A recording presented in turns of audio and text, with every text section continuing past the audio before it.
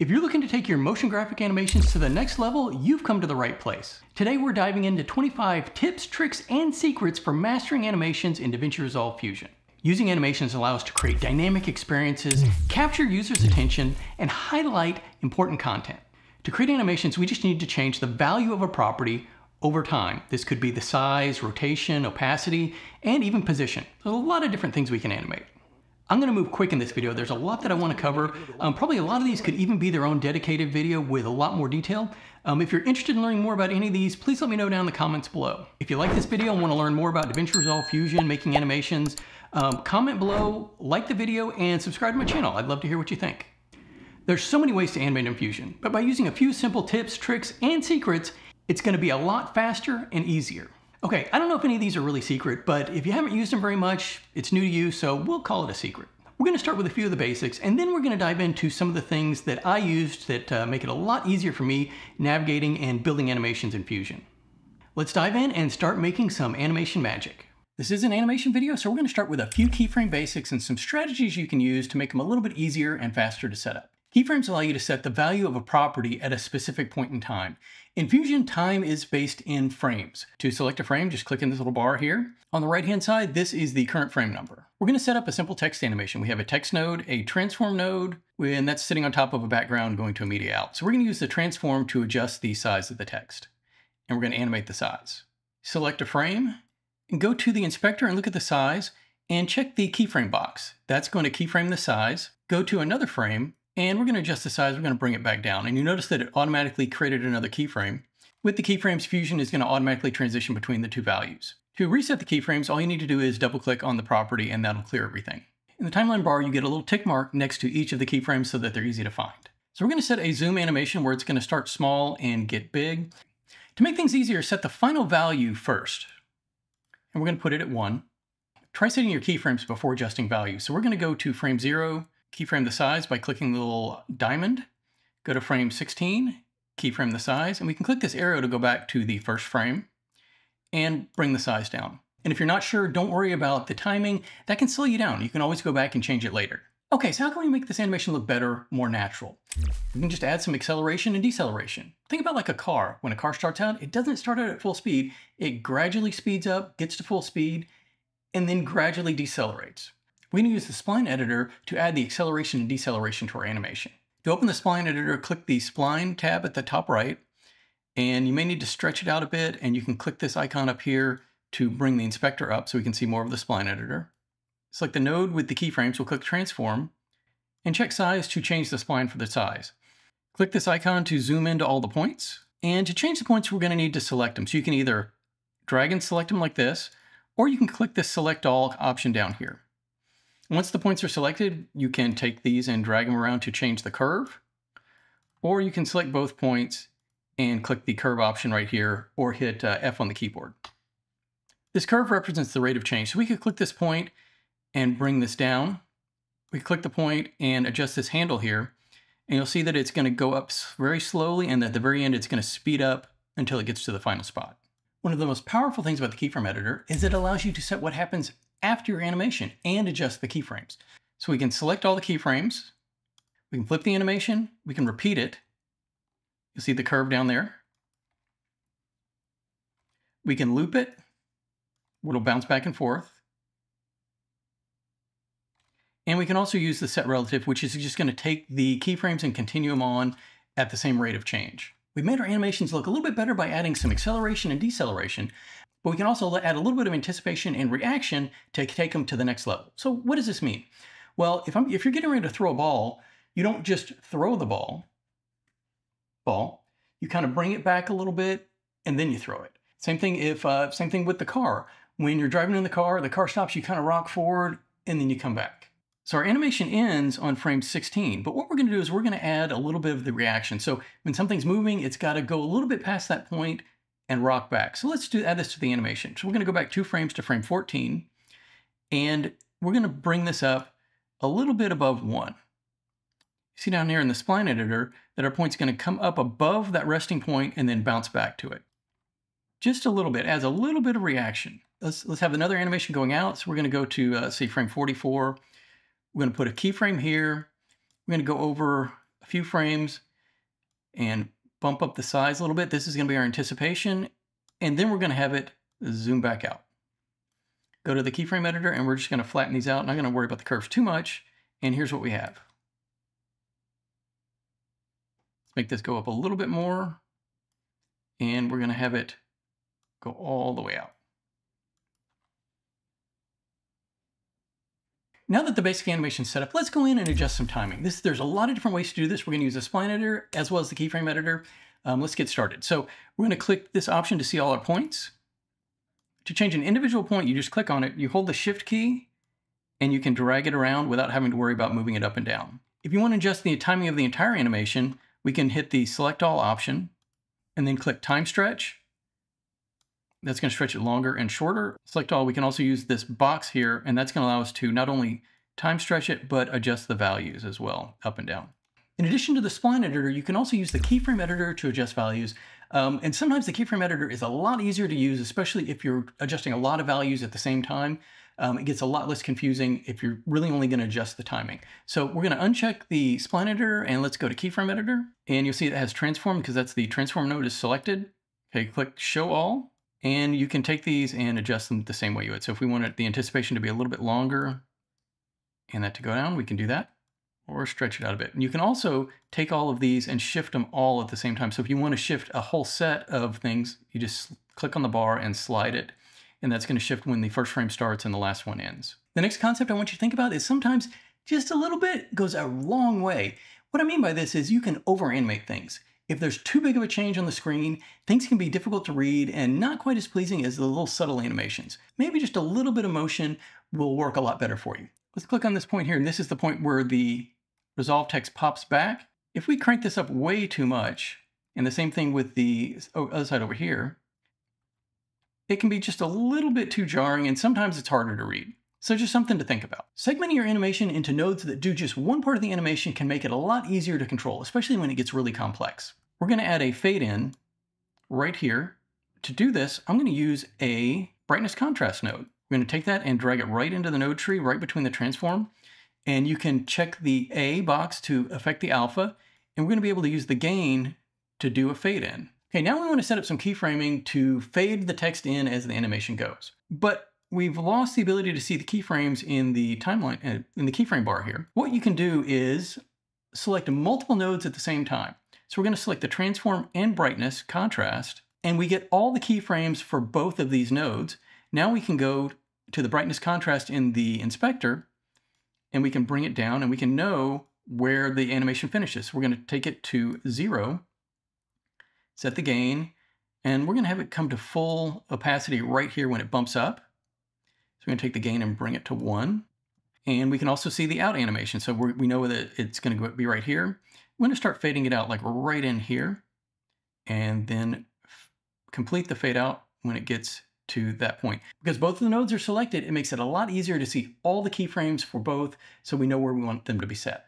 So while you're animating, you're going to be starting, stopping, and trying things out and making adjustments and changing all your settings. So we're going to use the loop replay feature to make this a lot easier you'll see that um, right down here we have frame 0 to 119. This is the render range of where the animation is going to be. So you can see right here, if we wanted to just look at the beginning part of this animation, we can set it to 0. And I'm just clicking and dragging on this. And you'll have we have this loop button right here, which is the red circle, the, the red arrow looping on itself. When we hit play, the animation is just going to repeat this one part.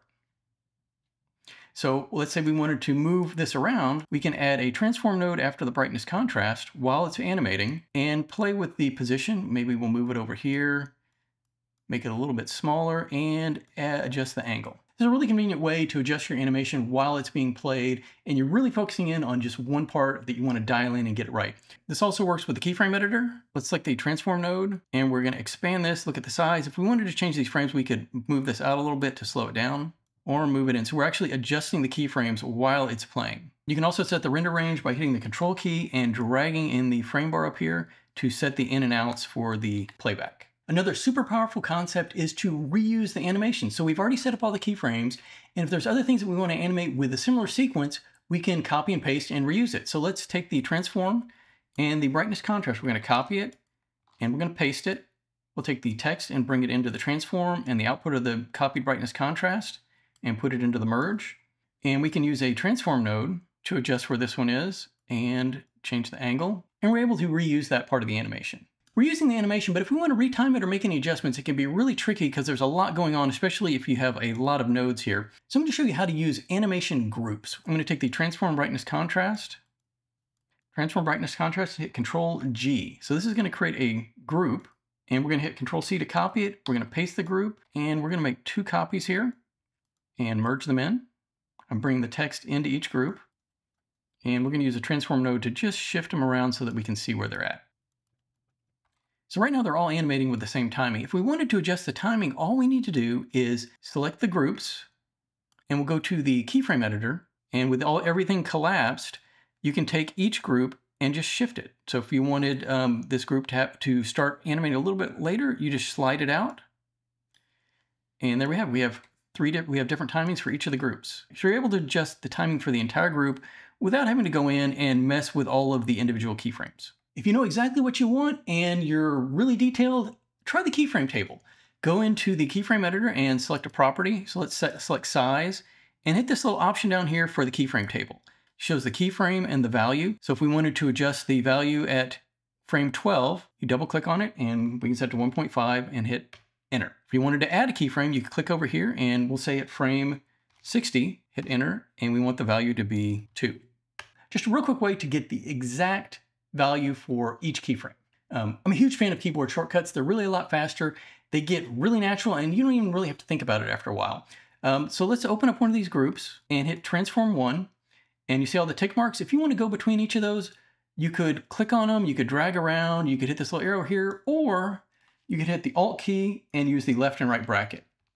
And that'll navigate the animation really quickly between each of these keyframe points. Keyboard shortcuts, give them a try. Don't forget about motion blur. That's something that's going to make things look more natural because right there, motion blur. We see it all the time. We see it in real life. So add it to your animations to make them look, look a little bit better. In the transform node, go to the settings and enable motion blur. Adjust the settings to your liking. Um, let's work on synchronizing what's going on with the animation with your timeline. There's a lot of times where you're going to want to do this, so we're going to take the background and we're going to take the alpha and bring it all the way down. Let's go to the timeline we have the animation, our resolve animation sitting on top of a clip of a car that's driving around. Okay, first let's use markers. So we're gonna go and we're gonna set a marker right here. Make sure that nothing is selected and in the timeline, hit the M key. And that's gonna set a marker and we're gonna bring one over here and we're gonna set another marker, M, and we'll set, uh, we'll go, well, I'll set one right here too.